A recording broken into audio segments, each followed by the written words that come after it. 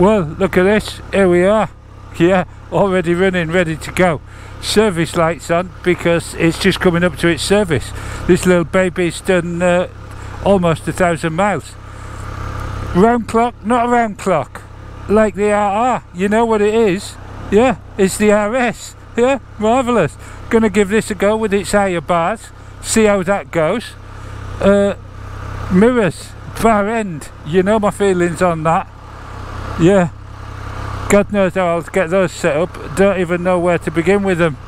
But we'll see when we get going.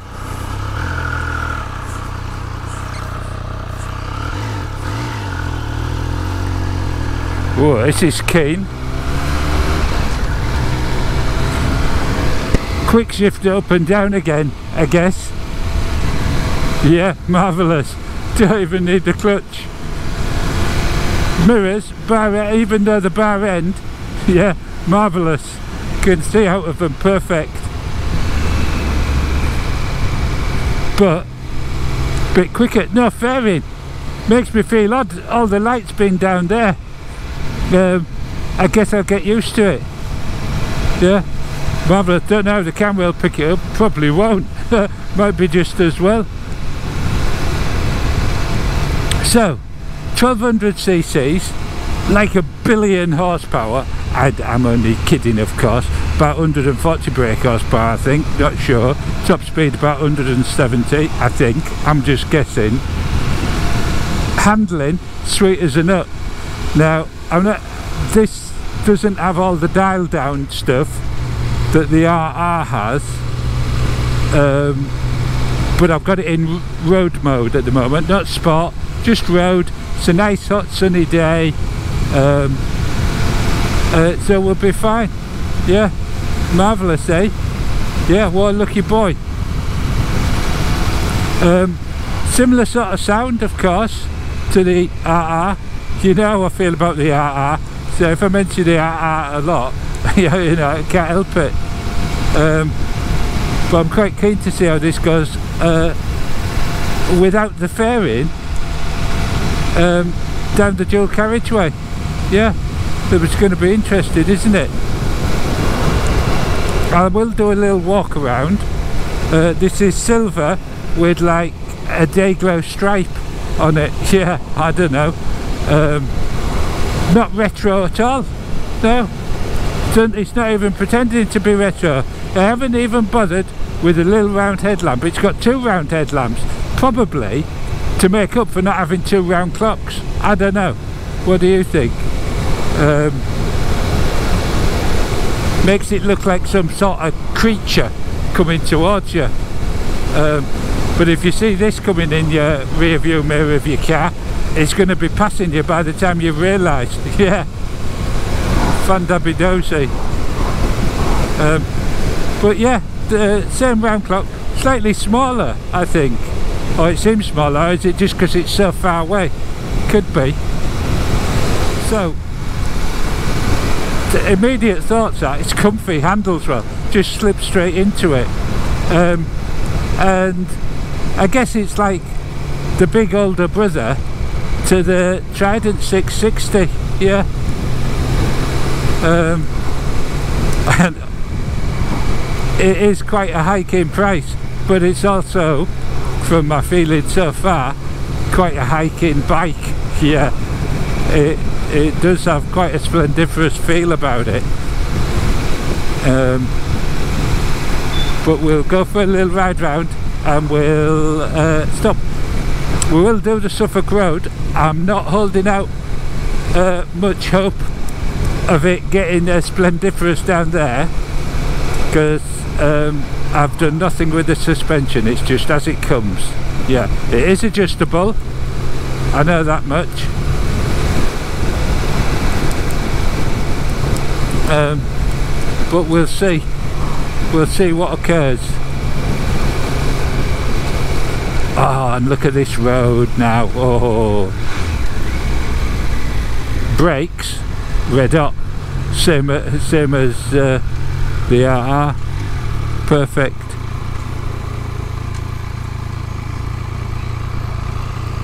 Gearbox a doddle there.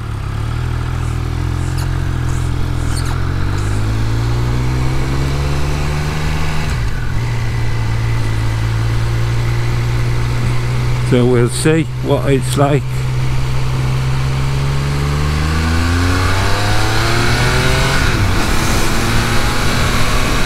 It's quite sharp tips in well.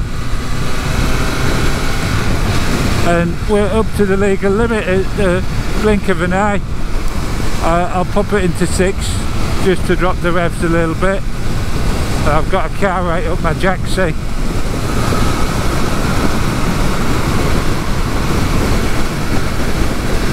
course I don't know how much you can hear for the wind so it might the wind might be deafening but it doesn't feel too bad. That's what I'm saying. I think the clock probably does deflect a little bit. I can feel just a little bit somewhere about there just blowing. But other than that it's all clean air.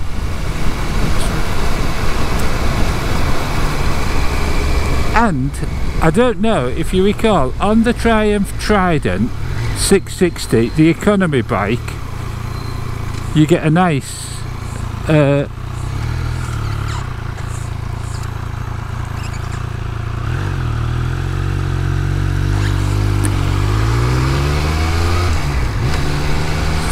you get a nice clean uh, square metal uh, brake reservoir but but uh, if you if you if you spend another eight thousand pounds you get a plastic round see-through one. Marvellous isn't it? That's a bit odd. Um, maybe these are more expensive to make. Or maybe they do a better job. I don't know. But it just seems a bit odd to me. Maybe people like them like that. I don't know. Right so we're going to the first of the bumpy roads.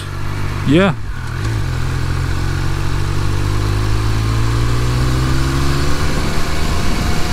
And we'll see got a bus in front. So we're going to have to have some diesel fumes first. Just to numb us a little bit I reckon.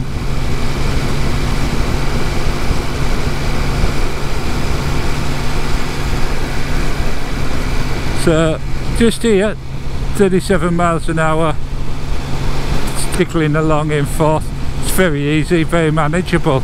You know when you think of the beast of the bike that it is um, you know I guess it's like um, you know a giant muscle heavyweight boxer but being a gentle lover. I don't know.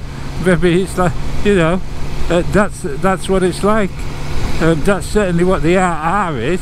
Very smooth operator yeah. Just waiting for this bus to get to the uh, dual carriageway and then we'll see. So so staying in that lane? Yeah marvellous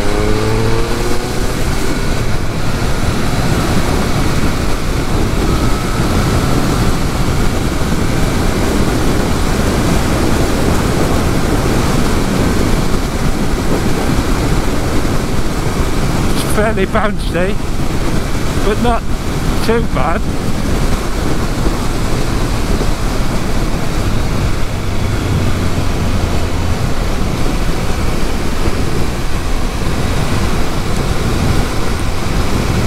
So the quick shifter is marvellous on these Triumphs on all of them it really is. Yeah it's so slick and smooth it doesn't miss a thing.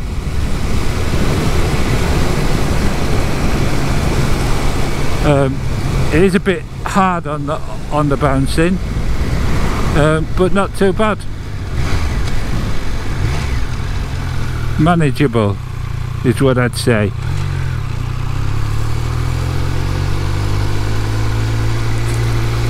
The engine sounds just marvellous going to be interesting to see on the Suffolk Road what's it, what's it like um, and we're I'm not going to go down to the boatyard today because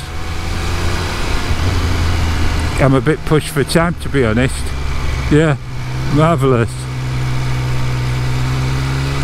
Um, so we'll do the walk round back at the shop. Yeah.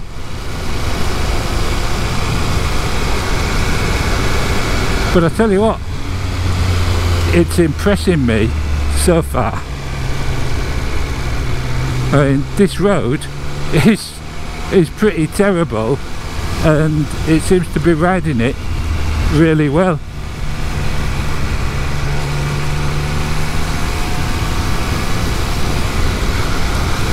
Yeah.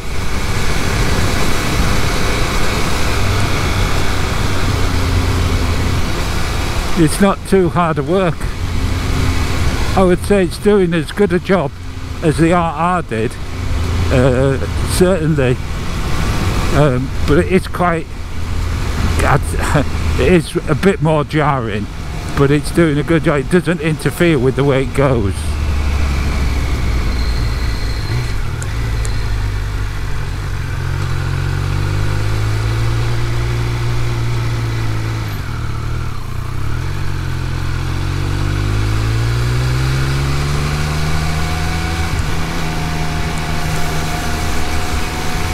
it does sound lovely doesn't it? So we'll do the uh, senses test. As we go past the pub. Yeah so taste. I'm not tasting it you know that. Um, to look at. It's not everybody's cup of tea it's a modern bike. It's one of those prancing crickets or something isn't it?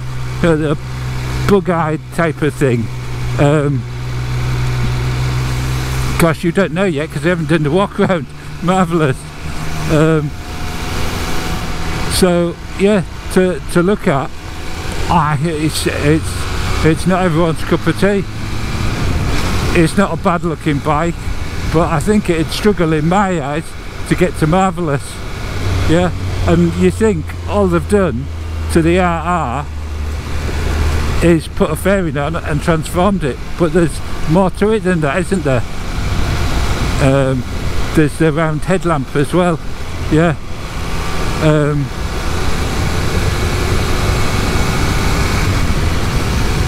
and then so that, that's where I'm sticking I'm afraid yeah. Yeah I, I, I might push to marvellous um, if I, someone came at me with a with a big stick yeah.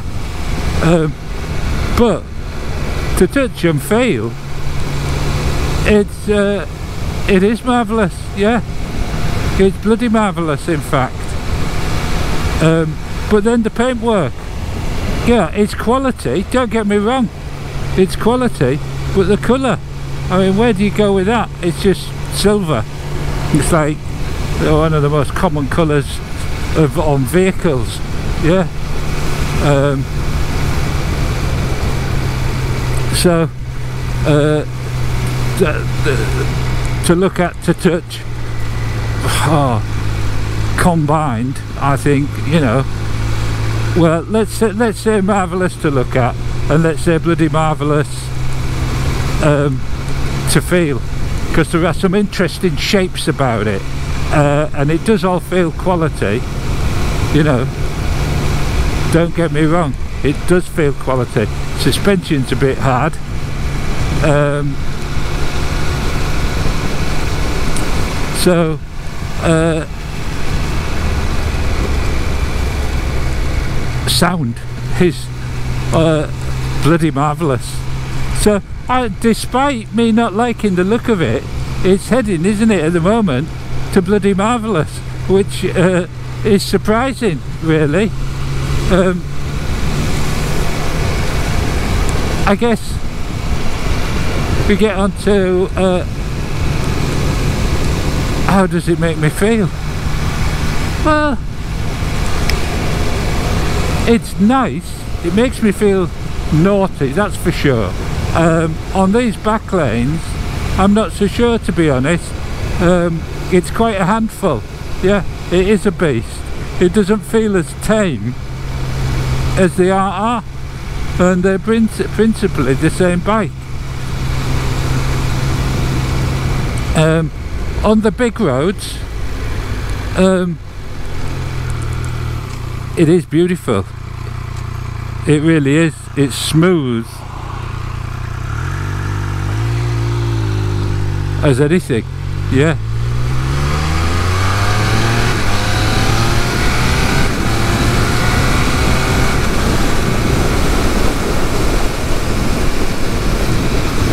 The suspension's definitely firm. Um,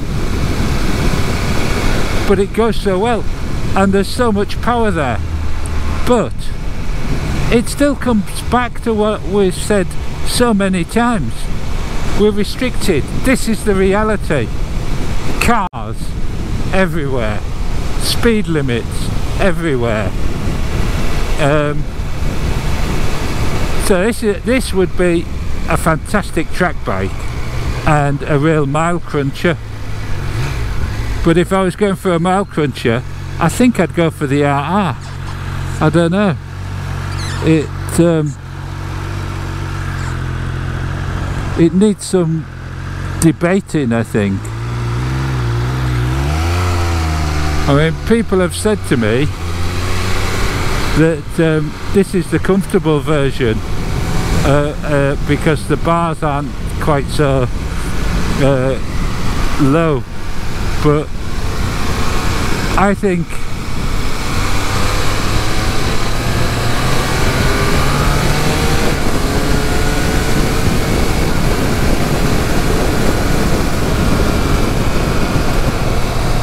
I think the um,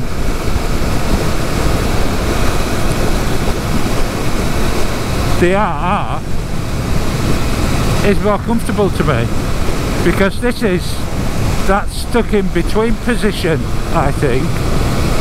I think you you know if you're prone you get down and you're there.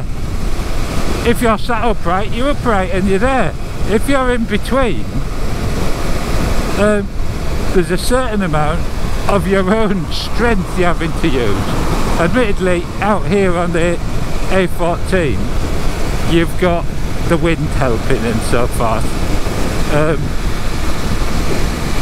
don't get me wrong, I'm being picky here because yeah, I'm on a very very nice motorbike and the only way to critique it is to push the boundaries, isn't it? This is a marvellous motorbike but for me um, it's too unruly. I, I th thought it would be, it's just got a bit you know the slightest twitch on the throttle and it's off. Um, but also slightest twitch on the throttle the wrong way and you're stopping. And then your weight's on on your hands. I found the RR set up much better and much smoother. But also you're already down on your hands to start with um, and therefore there's no weight down there. You're already there if you know what I mean. That sounds bonkers doesn't it? But then again just about everything I say sounds bonkers.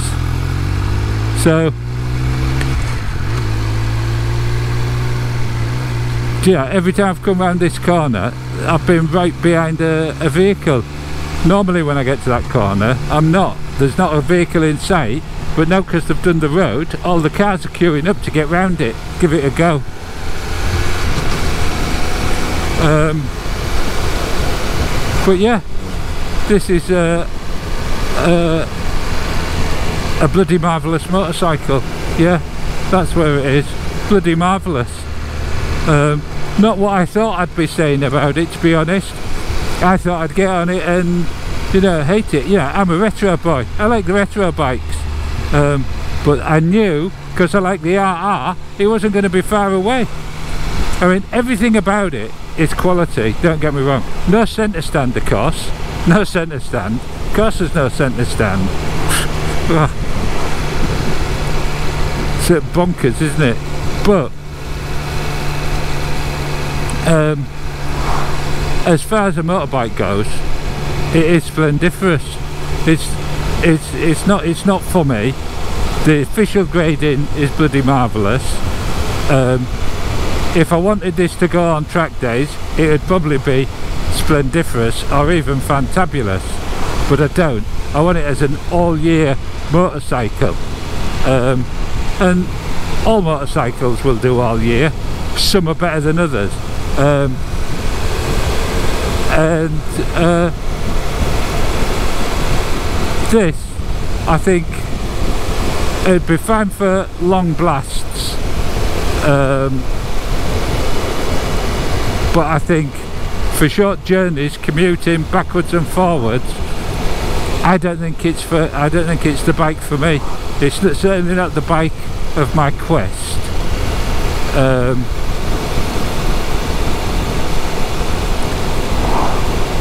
that's for sure. Um, but it is a bloody marvellous motorcycle. Um, you know, I I can't I can't really say more than that. It's it doesn't have Mickey Mouse mirrors. It's got bar end mirrors. That that was disappointing to start with, but of course goes with the bike with the territory, doesn't it? Um, all the controls, by the way, while we're on it, they're marvellous. I know them all inside out. They're the same as they are, same as my Tiger, uh, and they're all logical. Some people don't like them. They don't like the little joystick thing. It's a, it's a doddle. If you can't figure that out, uh, you're, you're obviously not a kid of the 80s. Yeah. yeah. You obviously weren't playing Space Invaders uh, and Asteroids, were you, in the pub? No. Otherwise you'd have no trouble with these controls. That'd be fine. Um, keyless ignition, that's marvellous. Um, the way the clock lights up, it's all exciting. Um, and lovely colours. I do like the colours, the orange and the red. That's marvellous. I think you could probably select all different colours if you want.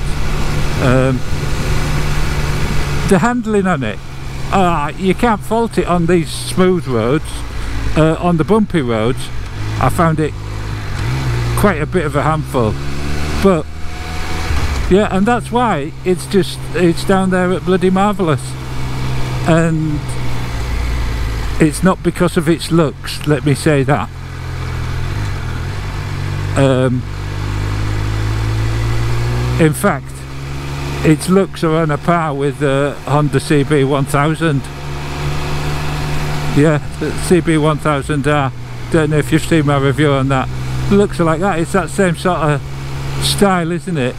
In fact, the CB1000R might be more retro looking. Um, and therefore might rank higher. Um, but yeah, marvellous bike. Um, and we'll do a little walk around now. So there you go. What do you think, ladies and gentlemen?